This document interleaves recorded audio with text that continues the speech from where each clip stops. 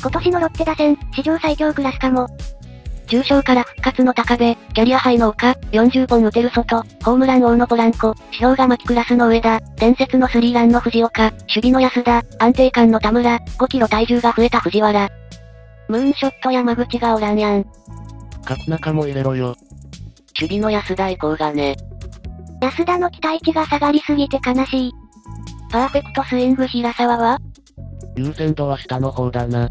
オープン戦で打ちまくってアピールするしかない。外と上田のとこはさすがに無理がある。まあ、打線は去年より確実にマシだよ。ローテが崩壊しなければ優勝争いもできる。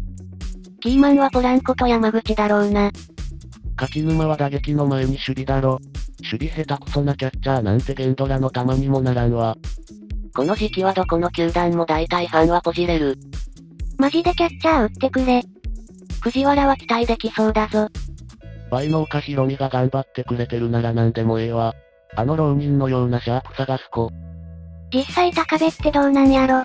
一軍でやれると思っててええんやろか。高部復活すればかなりでかい。メガオリックス思い出したわ。